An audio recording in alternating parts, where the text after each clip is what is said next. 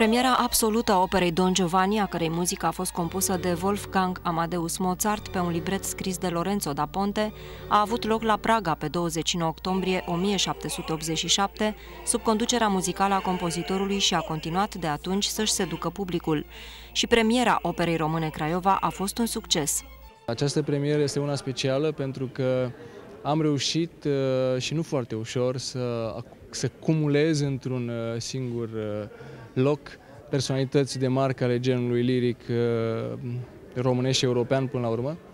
Pentru că atunci când vorbești de maestru Plamen Kartalov, un regizor care a montat în toată lumea, lucrurile devin simple, dar totuși complexe. Cu o distribuție internațională și cu fastul costumelor imaginate de designerul Cătălin Botezatu, spectacolul a reușit, cu energiile sale artistice, să impresioneze publicul.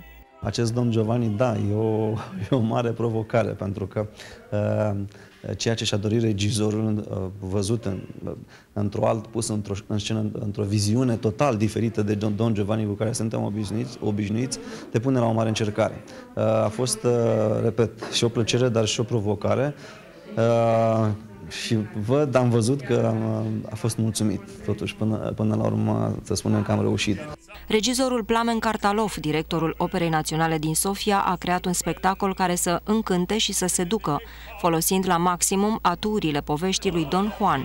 Multă, multă muncă, minuțiozitate, uh, pas cu pas, acord cu acord, uh, notă cu notă. Am lucrat de 10 ori, de 15 ori ca să iasă ce a ieșit în seara asta.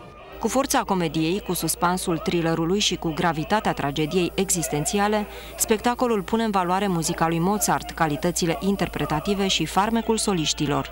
Am lucrat într-o echipă excepțională, sunt mândru că am participat la această producție și sunt bucuros să spun că, uitați, la Craiova s-a făcut o producție de nivel internațional. Je suis première fois. Sunt pentru prima oară în România. Sunt foarte încântat de cum am lucrat cu întreaga echipă condusă de maestrul Kartalov, iar pentru mine acest rol este deosebit de important. Soluția ingenioasă a decorului labirint, creat de scenograful Răsvan Drăgănescu, adâncește misterul asupra mitului Don Juan, acest simbol al vitalității meridionale care inspiră de peste 400 de ani atâția creatori. Și sâmbătă seara vă puteți bucura de acest spectacol într-o altă distribuție.